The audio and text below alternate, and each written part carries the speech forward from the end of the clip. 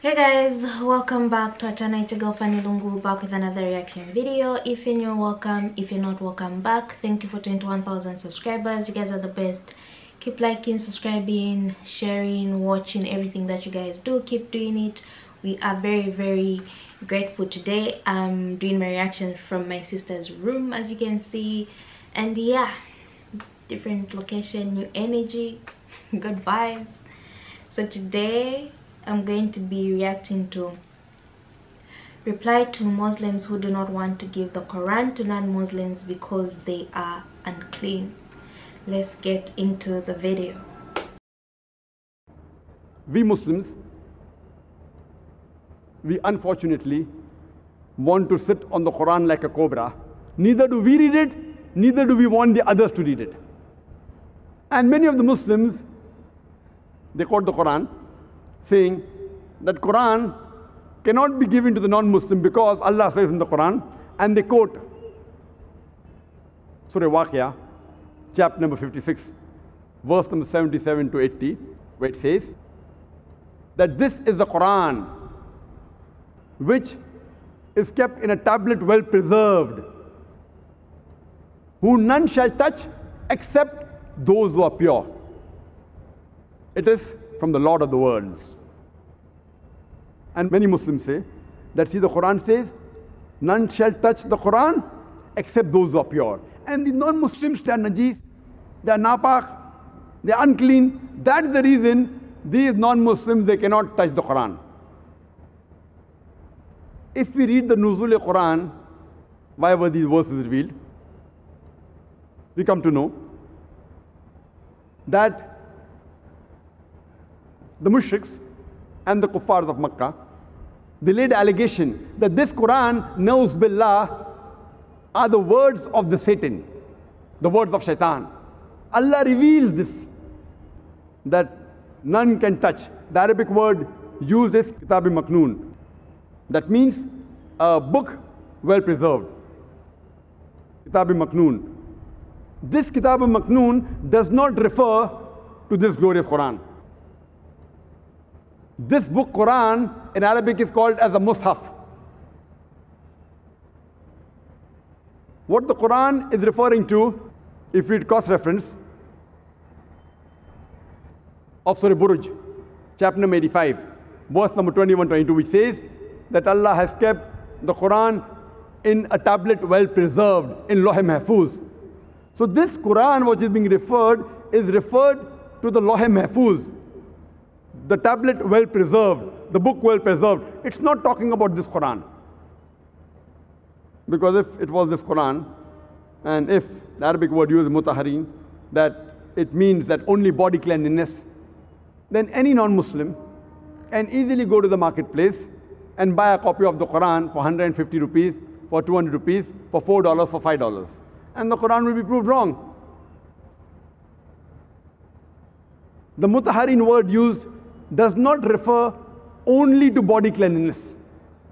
It refers to a person who's pure in heart, in mind, in soul, person who's sinless, referring to the angels, that none will be able to touch the Quran in the tablet well preserved Loh Mahfuz except the angels. Trying to give a reply to the allegations of the mushriks of Makkah that this Quran was not the words of the Satan. So this verse of the Quran does not indicate that a person should be pure in body. If he is, it's good, it is mustahab, alhamdulillah, but it's not a must. And furthermore, even if it was a requirement, imagine, even if it was a requirement, if a person's shirk can be removed from his life, even if you consider this as a small mistake to touch the Quran without wudu, yet removing the shirk, which is the biggest sin in Islam, to do a small mistake, to remove the biggest sin in Islam, it is yet a very good bargain. But the scholars of tafsir, they say this verse does not refer and does not indicate that a person should be in wudu to touch the Quran. But being in wudu is good. It is mustahab, alhamdulillah, but not a must. There are many people, many Muslims who tell me, okay, Brother Zakir, give the Quran to the non-Muslim, but only give the English translation. Don't give the Arabic text.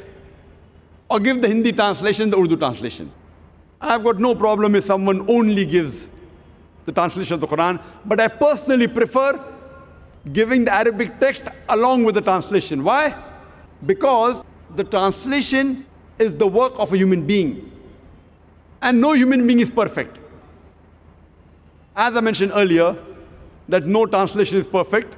And if there is a mistake in the translation, it will not be attributed to Allah subhanahu wa ta'ala.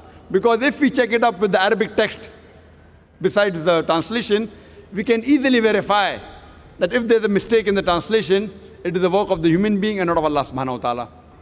So I personally prefer giving along with the translation the Arabic text so that if there is a mistake, Allah subhanahu wa ta'ala, He'll not be responsible. It is the responsibility of the translator. And furthermore, if Allah holds me responsible, I will be in good company. I'll be in the company of the beloved Prophet Muhammad. Why? Because if you read the seerah of the Prophet Muhammad, he dictated letters to non-Muslim kings in which he dictated verses of the Quran. He told the Sahabas, he dictated letters to non-Muslim kings in which he dictated verses of the Quran.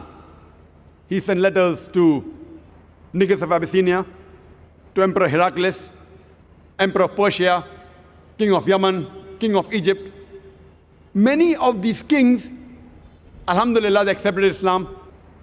But some of them, they even tore the letter. Some of them even trampled it beneath their feet. Imagine the verses of the Quran dictated by the Prophet. They were torn by these kings, and some of them even trampled it beneath their feet. And one such letter is available in the Topkapi Museum in Turkey in which the Prophet had dictated the verse of the Quran of Surah Al-Imran, chapter number 3, verse number 64, he says, Kul, Ya Ahl kitab say, O people of the book, Ta'alaw ila kalimatin sawa bayna bainakum. Come to common terms as between us and you. Which is the first term? Allah na'budu illallah. That we worship none but Allah. وَلَا نُشْرِكَ بِهِ شَيْئًا That we associate no partners with Him. وَلَا يَتَّخِذَ بَعْضُنَا بَعْضًا أَرْبَابًا مِّن دُونِ اللَّهِ That we erect not among ourselves lords and patrons other than Allah. If then they turn back. Fakulu shadu. Say, so witness, be anna Muslimun That we are Muslims bowing our will to Allah subhanahu wa ta'ala. This verse of the Quran was dictated to the non-Muslim kings by the beloved Prophet Muhammad sallallahu alaihi wasallam. It's yet available in the museum, the Topkapi Museum in Turkey. And I want to ask you the question. Today, there are about 14 million Arabs who are Coptic Christians, who are Christians since generations. I'm asking the question, which translation of the Quran will you give to these 14 million Coptic Arab Christians? Do you want to translate the Arabic Quran into Arabic again? You'll have to give the original text. To these Christian Arabs, who understand Arabic as a language, Arabic is the mother tongue. Which translation will you give? Will you give the Urdu translation? Will you give the English translation? You have to give the original kalam of Allah subhanahu wa ta'ala in Arabic. That's the reason I personally prefer, along with the translation, give the original Arabic text. And the Quran was revealed for the whole of humankind, and the last and final messenger, Prophet Muhammad, peace be upon him, was sent as a messenger to the whole of humankind. Uh, an interesting video. Who exactly is unclean according to you?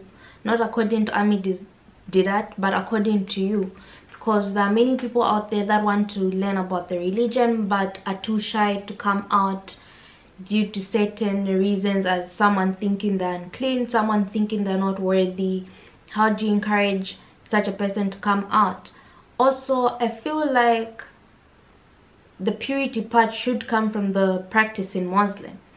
If you're so pure and you want to spread your word or let other people know about the goodness in your religion, you should be willing to give to anyone, whether they're unclean, whether they're this or that. You should be willing to share the message with you so that they see that goodness in it. It shouldn't have to depend on their goodness, but yours. Those, those are just my thoughts what do you guys actually think? Please motivate me by giving me stuff to react to give this video a thumbs up share it with your friends and of course do not forget to subscribe and i'll see you in my next reaction video